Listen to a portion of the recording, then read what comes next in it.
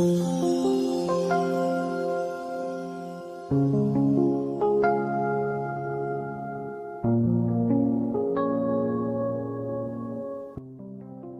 Sunday of Easter.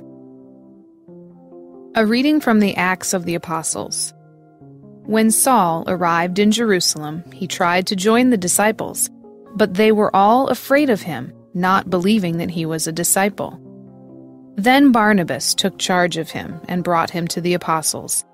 And he reported to them how he had seen the Lord, and that he had spoken to him, and how in Damascus he had spoken out boldly in the name of Jesus. He moved about freely with them in Jerusalem and spoke out boldly in the name of the Lord.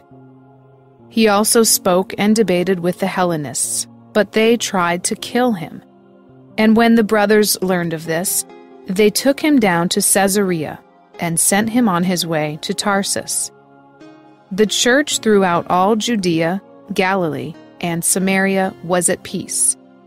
It was being built up and walked in the fear of the Lord and with the consolation of the Holy Spirit, it grew in numbers. The Word of the Lord.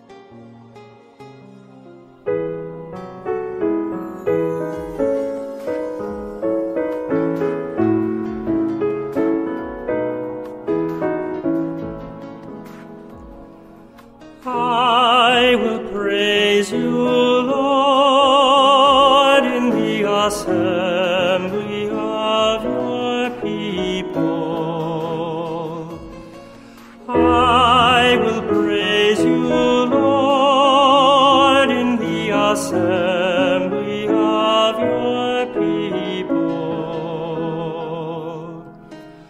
I will fulfill my vows before those who fear the Lord.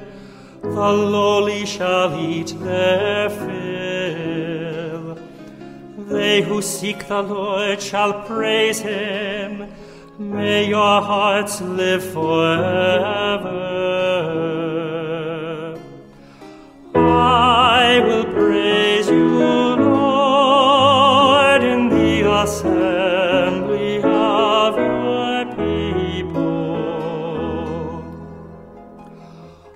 the ends of the earth shall remember and turn to the Lord.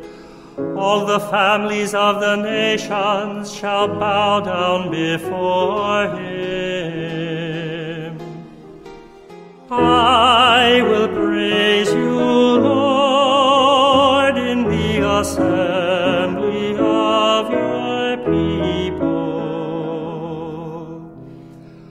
To him alone shall bow down all who sleep in the earth.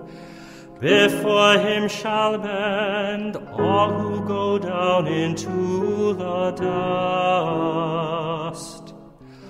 I will praise you, Lord, in the assembly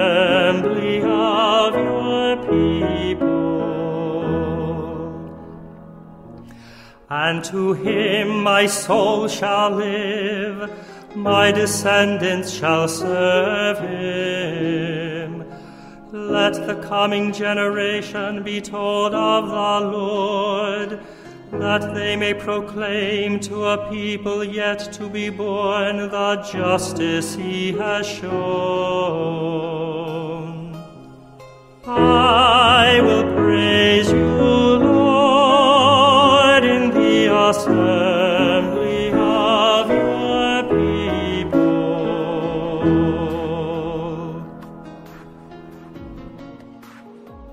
reading from the first letter of St. John. Children, let us love not in word or speech, but in deed and truth. Now, this is how we shall know that we belong to the truth, and reassure our hearts before Him in whatever our hearts condemn.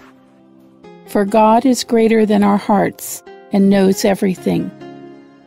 Beloved, if our hearts do not condemn us, we have confidence in God and receive from Him whatever we ask because we keep his commandments and do what pleases him. And his commandment is this We should believe in the name of his Son, Jesus Christ, and love one another just as he commanded us. Those who keep his commandments remain in him, and he in them. And the way we know that he remains in us is from the Spirit he gave us. The Word of the Lord. A reading from the Holy Gospel according to John. Jesus said to his disciples, I am the true vine, and my Father is the vine grower. He takes away every branch in me that does not bear fruit, and every one that does, he prunes so that it bears more fruit. You are already pruned because of the word that I spoke to you. Remain in me as I remain in you.